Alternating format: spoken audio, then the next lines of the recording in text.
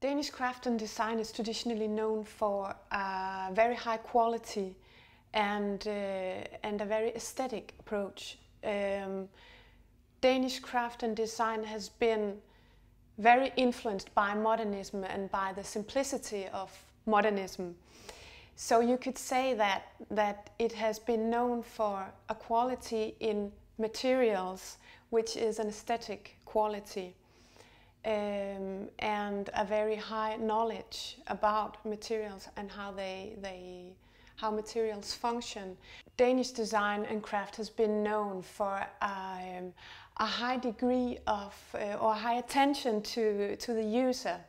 So the user has always been, historically, been a part of, uh, of, of of the way people have worked, of the products they have made. They have been oriented towards the user, which means that quality has been important because uh, we didn't talk about sustainability a couple of years ago, but sustainability has in a way al always been a part of the way designers uh, have thought um, because they wanted to make products that uh, could last the whole life for people. The unique qualities of Danish craft and design has been that uh, there has always been an attention towards the user, which means that quality has not been compromised. Quality has been very, very important.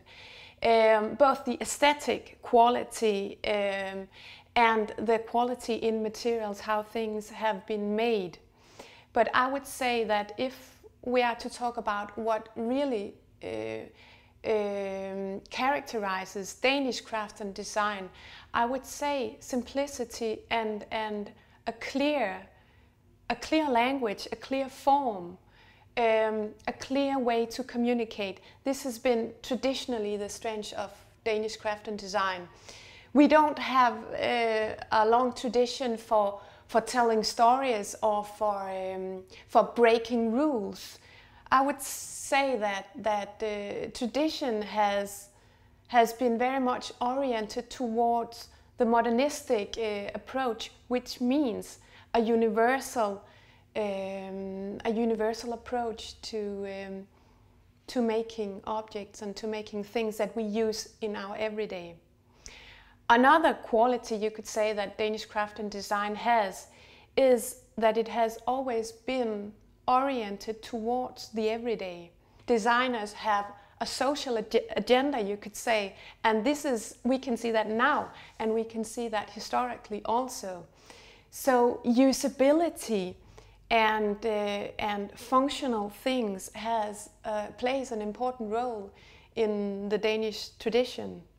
The development over the past 10 years in Danish craft and design, I would say it has been very exciting because it has taken the most interesting of tradition or the most essential, the most important of tradition, which, which is the, the, the, um, the awareness of the user and the awareness awareness of quality, but it has been taken directly into a new way of thinking, into a new paradigm, a new approach to which kind of things that we want to surround ourselves with in the everyday.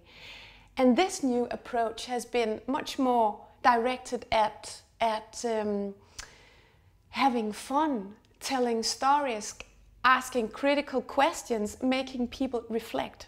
And I would say that the reflective layer of things is a new, a new development in Danish craft and design, which is very interesting because exactly we can see both just having fun, just telling funny stories that entertain people, as well as we can see uh, we can see stories that ask critical questions, make us stop, make us wonder, give us new sensations.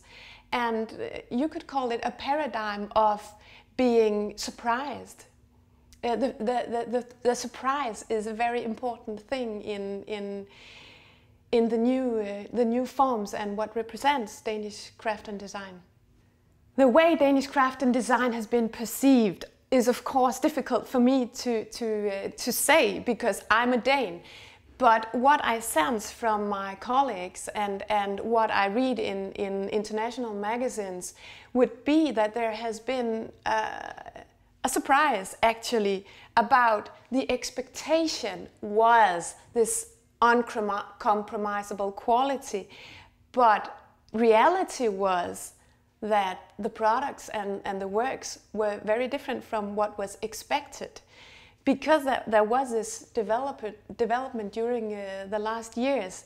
So I would say people have been expressing a surprise. One of the important features of Danish craft and design would be that even though we see a wave of or a new approach to, to design, which is to tell stories and to entertain and to ask questions, still the tradition remains in in quality and in the approach that we don't just want to make snap entertainment. Actually we want to make things that people still want to keep in their lives.